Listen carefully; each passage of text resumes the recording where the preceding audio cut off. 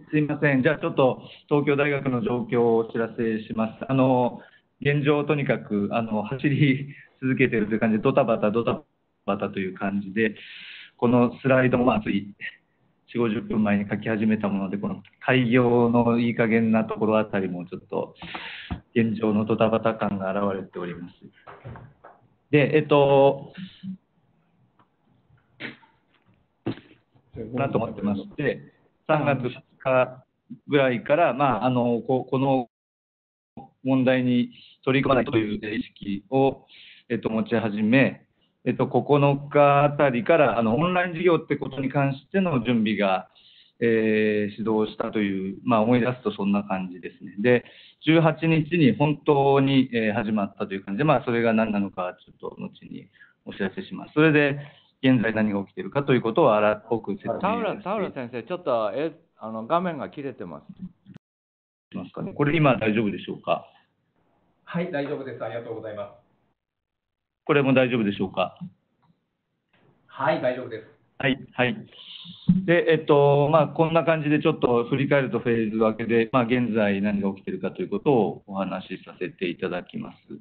で、えっと、一番最初の、まあ、フェーズ0というのは3月の頭ぐらいなんですけれども、まあ、このコロナ感染に備えたあの行動を起こすべきという、まあ、意識が高まったという感じで、その、まあ、きっかけっていうのは、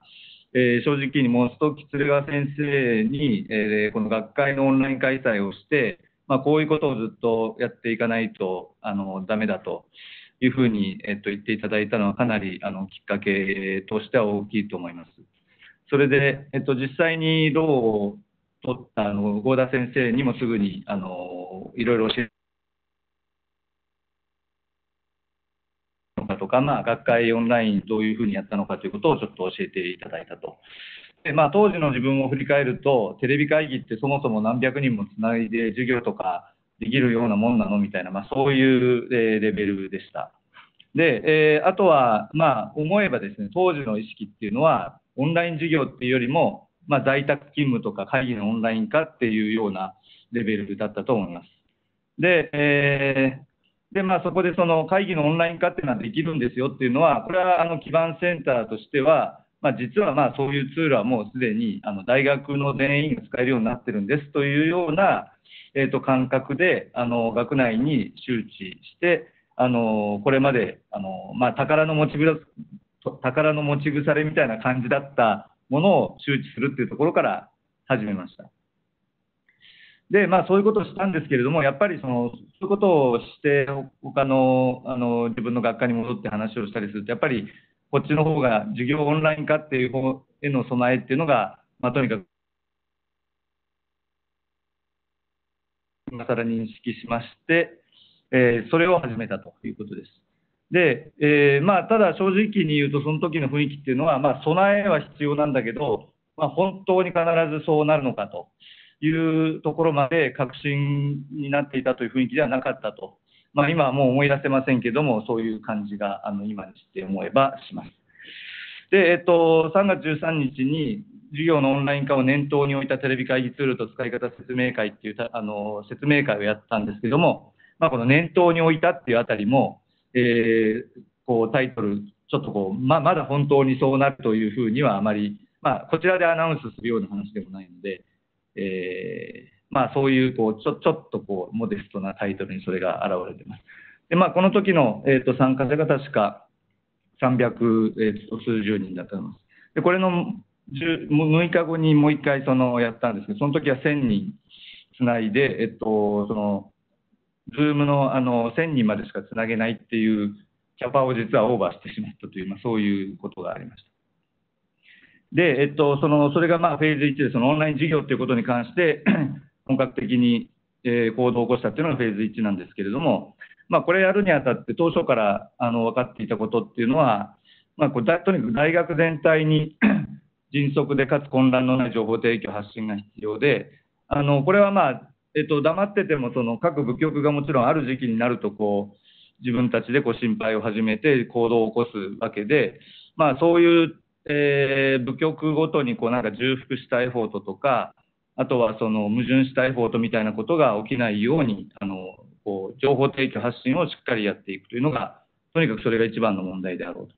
で、えーもう一つの、え問題、一番の困難というのは、新しく入ってくる人たちにいきなりオンライン授業で、えー学期が始まると、そういう状態にどういうふうに備えをさせるかということで、これも とにかく情報をどうやってその今まで会ったことのない新しく入ってくる人に届けるかと、まあ、そういう 問題であったと思います。で、えっと、新入生に何をしてほしておいてほしいのか、何を準備しておいてほしいのかをどうやって伝えるか、えーというのが 一番の課題になるであろうと。で、えーあすいません、なんかちょっと逆言っちゃいます。はい。で、まあ、具体的な活動としては、このポータルですね、この、えーと、ユーテレコン GitHub IO っていう、まあ、ポータルなんですけど、まあ、それをとにかくあの作りまして、まあ、とにかくここにすべての情報を、えー集約していくんだと。まあ、そういう、えーことで、センター、えーと、あとは大学総合教育センターというところの連携で始まって、でまあ、この GitHub ページっていうのを使って、あのまあ、U 東京 ACJP ですらないあの URL をそのまま使ってるんですが、まあ、それはあの、まああの当たり前というか小さい決断なんですが、重要だったなと。田浦先生、はい。あのフルスクリーンモードにされた方がいいと、なんかちょっと切れてるみたい。2枚、のやつを見せようとすると、どうもなんかそうなっちゃうみたいですね。ちょっと、じゃあ、すいません。え意図もう一的にやる回。あ意図的にやってんの？あ、そうです、そうです。あの、これ、こちらをちょっと、ああ今全部の画面映ってますかね？えあります。あはい、すいません。で、それ、それをちょっとお見せしたかったので。あわかりました。はい。はい、はい。で、この、このサイトで全てを発信していこうということです。で、まあ、学生向けのメッセージとか、教員向けのメッセージとか、えっと、テレビ会議の使い方とか、あとは説明会、その他この他を全部ここから発信していこうということで、えーありました。で、まあ、この編集しやすい、えーペあの、なんか、サイトをこう選択するっていうのも、それなりにこう、今にして思えば非常に重要な話だったかなと思っていて、まあ、とにかくガシガシたくさん編集できないといけないと。なんか Google サイトみたいな話もあの少しは考えましたけど、やっぱり、えっと、ああいうのは、あの、本当にこうガシガシ編集ってなかなかできないんですね。まあそういうこととか、あとはまあ組織をと無関係にして協力者を拡大えーしやすいようにするとか、まあ実際のところは基盤センターのホームページはなかなかいじりにくい、えーとか、まあましてや他部局の人が簡単にいじれるようなものではないとか、まあそういうのもあって、えっと、これを選んだのは今にして思えば非常に正解だったなと思っています。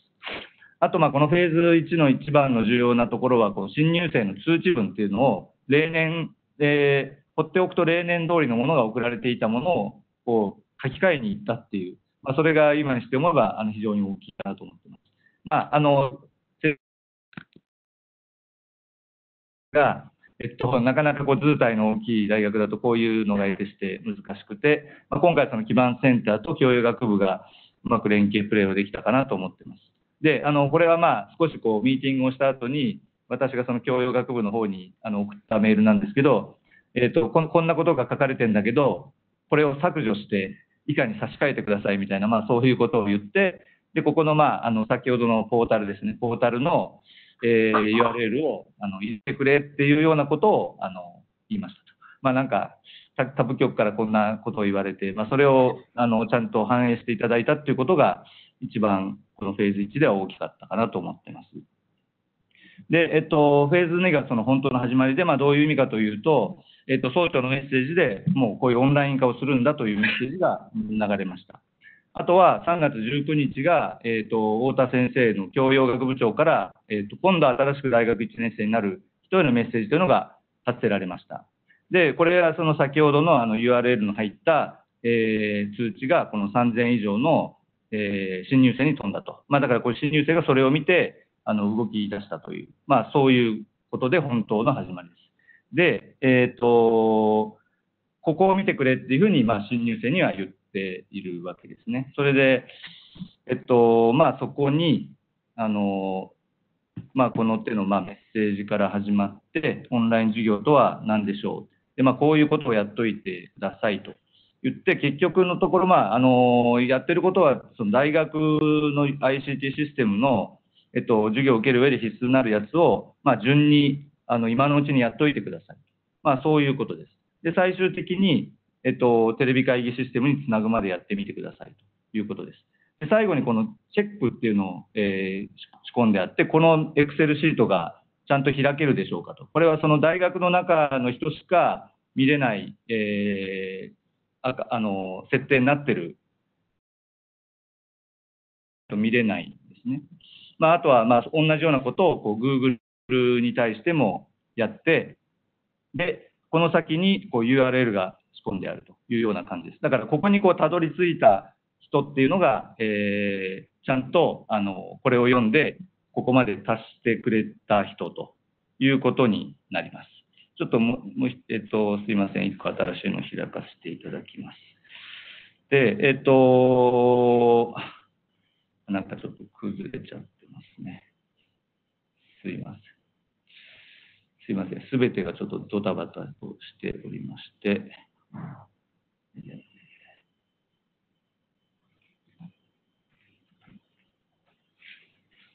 これがあの Google の方で、これもなんか大学のアカウントですね、G Suite なんですけど、アカウントを持ってないと見れないので、まあ、これができたらおめでとうっていうことです。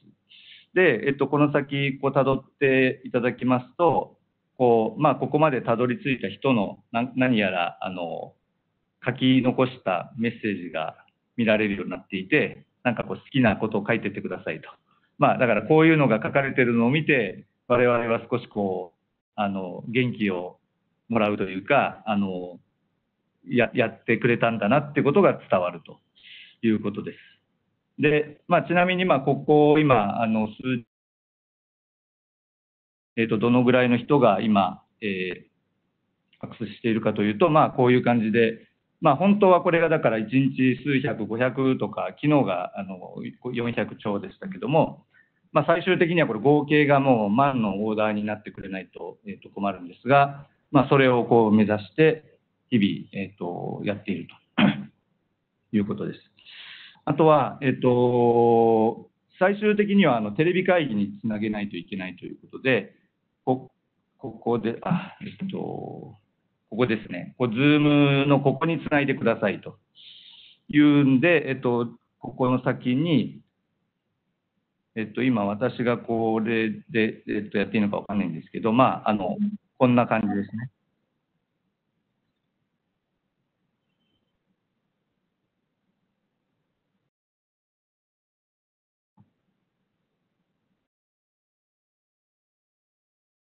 これを見れた人は、あの、かなり準備が整っていると。まあ、そういうような仕掛けを用意しています。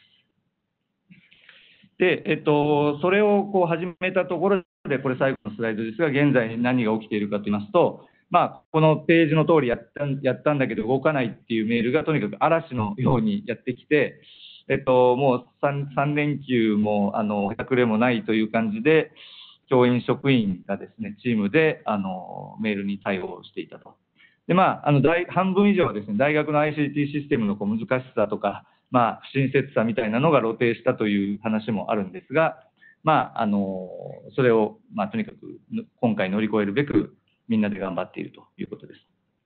あとは、まあ、あの、このポータルを作るとか、えっと、説明会を繰り返すとか、えっと、やっていくうちに、あの、協力の輪が広がっています。まあ、もちろんセンターの中でも、とにかくこの話、えっと、いろんなさっきのスライドを作るとか、えーいろんなこう、携帯の授業をテストするとか、そういうことの、えーやってくれるという人がどんどんこう増えていったり、あとは他の部局から、あの、部局内でと思って資料を作ったんだけど、まあ、こっちに提供した方がっていうんで、提供していただくとか、あとは一番嬉しいのは、その学生の方からこれを見て、あの、こちらがまだ TA の組織化とかできてないんですけど、えっと、加わりたいと言ってくれるような TA、あの、学生の人が現れてきている。まあ、そういうような感じで、なんとか、あの、え毎日こう走っているという、そういう状況です。以上です。